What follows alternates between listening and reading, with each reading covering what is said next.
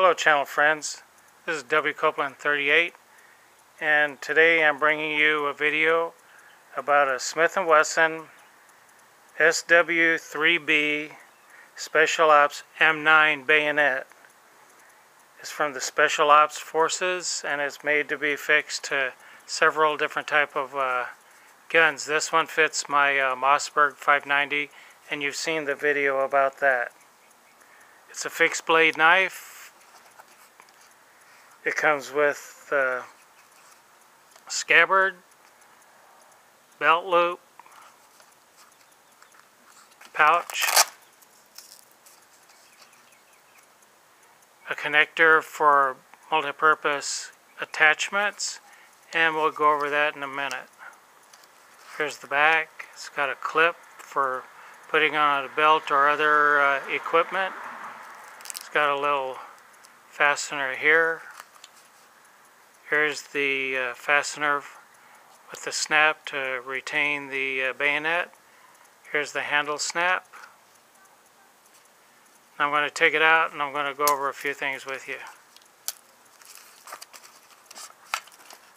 Okay, set this down.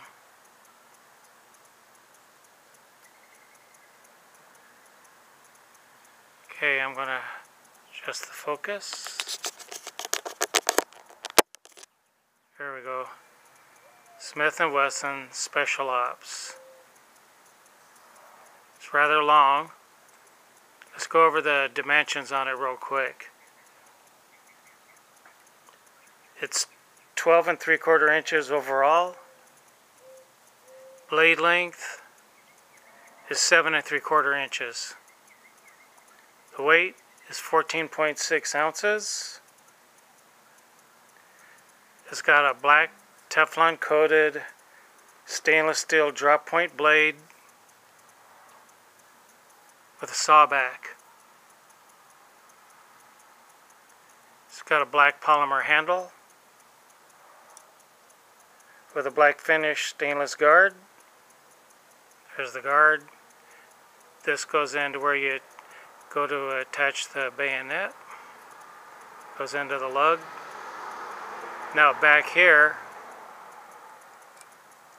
are your locking clips where it locks the bayonet in place.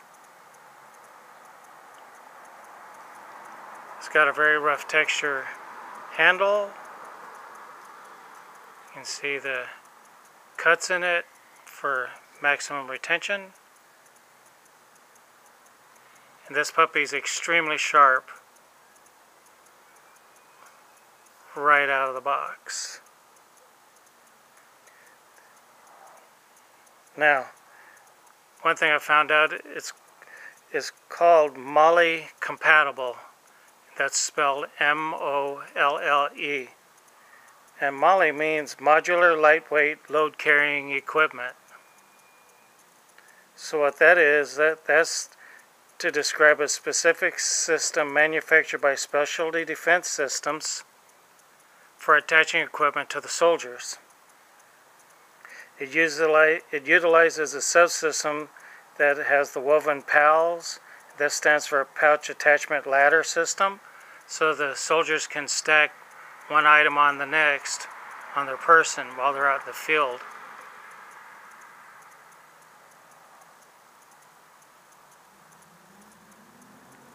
Now, let's go over a few other things.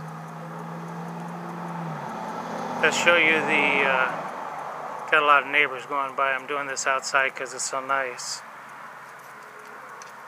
Here's the scabbard. I showed you the pouch. Now if you flip it over, pop this snap loose.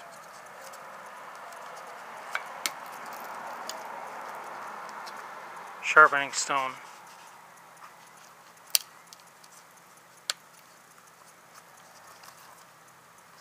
It's got the capability of being attached with belts. And it's got an attachment down here in case you have an oval item that want, that attached down on the uh, down below the scabbard. It's got a snap release for disconnect right here. flip it over. This comes off and you attach it to your belt or any other item on your, on your pack that you uh, would need to attach it to. Really quite useful. Very nice setup that they've got going here. Now these run about $70 retail. And it's well worth it. It's extremely sharp, like I said. It's got the razor back, saw back, I mean.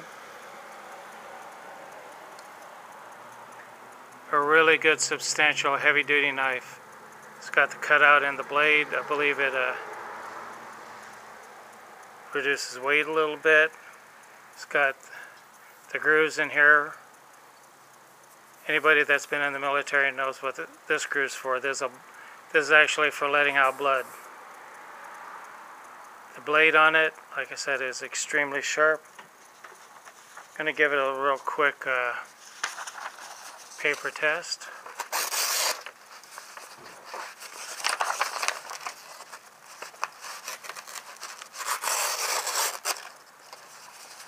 Not bad, is it?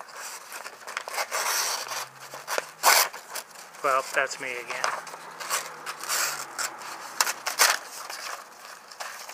There, we get rid of that. Anyway, you can tell from the video and the paper that it's extremely sharp. Once again, this is the Smith & Wesson Special Ops Bayonet M9.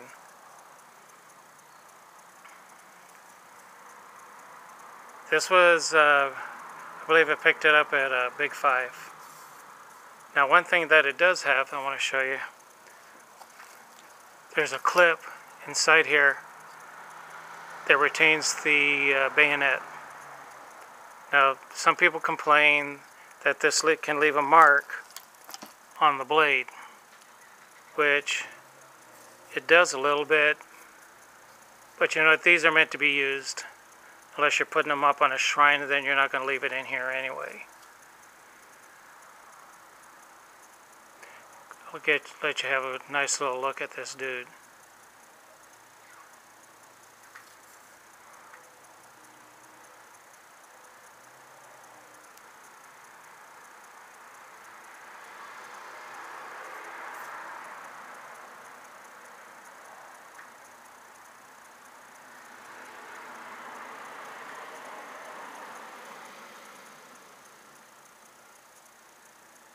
SW3B.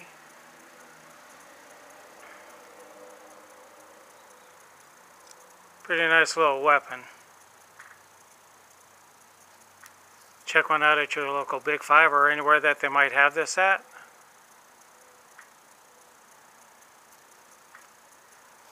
This is W. Copeland 38 saying check them out, check the price, see if it might be something you would like to add to your arsenal. Have a good evening, and I'm done.